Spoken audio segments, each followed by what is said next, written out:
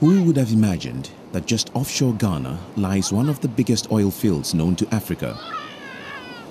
The story begins in downtown Dallas, United States, and a small group of individuals with a passion for finding oil. Kosmos is a company formed at the beginning of the decade to find oil. It's what we do. We find oil, and we generally find oil in some of the most difficult places to look for oil on the planet. The easy oil has been found. The hard oil, the difficult oil, is where the future lies. And that's what Kosmos is focused at, finding difficult oil. Kosmos is no ordinary company.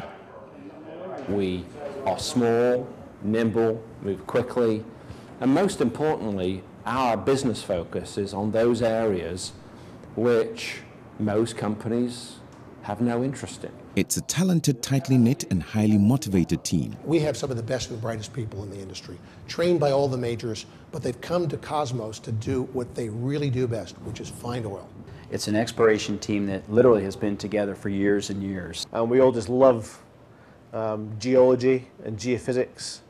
Um, and on top of that, looking for oil. We have a lot of fun together. Um, everybody expects a lot out of each other, um, and everybody delivers.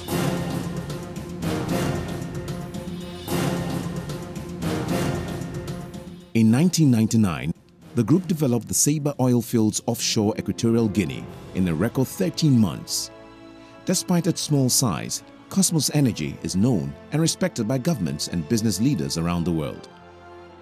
In 2008, they were named Oil Finders of the Year, and they are backed by two of the world's largest private equity firms, Warburg Pincus and Blackstone Capital Partners. But that's where convention ends. I think we're very good at what we do. Uh, we, we think independently, so I guess we are unconventional thinkers in that we don't follow the pack. Kosmos thrives on risk, and Ghana provided precisely the challenge they were looking for. We were looking for countries that wanted our skill set. And what Ghana, I think, recognized, and GNPC particularly recognized, was the expertise of the Kosmos team. We brought all those people, all those skills, that record for success in a high-risk environment that we had used in Equatorial Guinea, we brought that same team, that same skill set to Ghana. At considerable risk, for years, the biggest and the best in the industry had been looking for oil offshore. Over 80 exploration wells were drilled, and not one of them produced commercial oil. And when Kosmos arrived here in 2004, fortunes had been lost and the industry was leaving in droves. For us, what made Ghana very attractive was that there was numerous wells drilled, numerous wells that showed indications of hydrocarbons, oil and gas, um, but nobody had quite figured out what this recipe for success was. And for us, it was very, very simple. When you, people had simply been looking in the wrong place. So what did it take to find oil in an area that the rest of the world had given up on? I think a lot of it's the technology, and it's, it's also the people who use the technology and the tools. It's the commitment. It's the willingness to look where others wouldn't look or had abandoned all hope. We think we can do a job that other people can't do. And, you know, I, I don't want to sound too boastful, but the reality is we did it in Ghana. It's all about the quality of information, he says. 3D seismic is, um, and it's not just the tool, it's the technician that uses or the scientist that uses it. It's a tool to see below the surface of the earth at depth. So in very deep water, it can see several miles below the bottom of the ocean, and it sends back sound waves. And that allows us to simulate a three-dimensional view of the Earth's crust. What you end up with is what we call a cube of data. And that cube of data starts at the sea, seabed and goes down through the rock formations that contain the oil field and allow you to see the shape of the subsurface. Uh, and then what you do to, to understand that is you draw cross sections through the Earth's crust. It's like a, a jigsaw puzzle. It's like a, a, a, detective investigation. You have certain pieces of information and you're trying to put it all together. And by putting together this puzzle, we can figure out what sort of rock it is. Does that rock contain hydrocarbons? Are those hydrocarbons gas or oil? Or is it, or is it water bearing? There's a saying that we particularly believe that oil is found in the mines of great scientists or great geologists and geophysicists. It's not found on a computer terminal. So far, we've been lucky, and everything that Kosmos has drilled has been successful. The company's faith in Ghana paid off. In June 2007, Kosmos struck gold. It was an incredibly exciting time. We had been working diligently for two years by then. GNPC was right at our side. They had people in our offices working with us.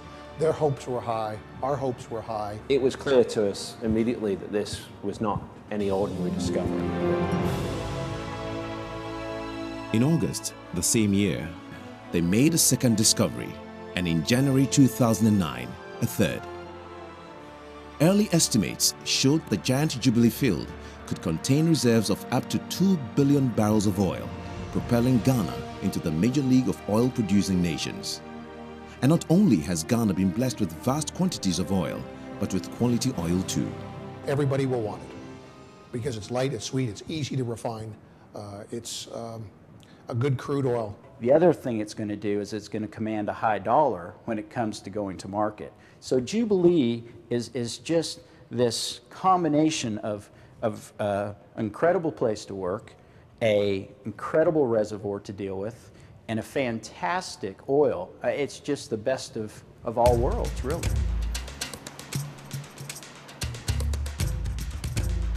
You, you have to be here at that time to see because it's all of a sudden a feeling of we have arrived. We have arrived. And personally, it was at the moment when I feel this is the industry I want to be part of. It has the potential and the opportunity to turn the fortunes of a country around. All of a sudden, Ghana is going to find itself additional revenue stream that the government can use, utilize to build on infrastructure in Ghana.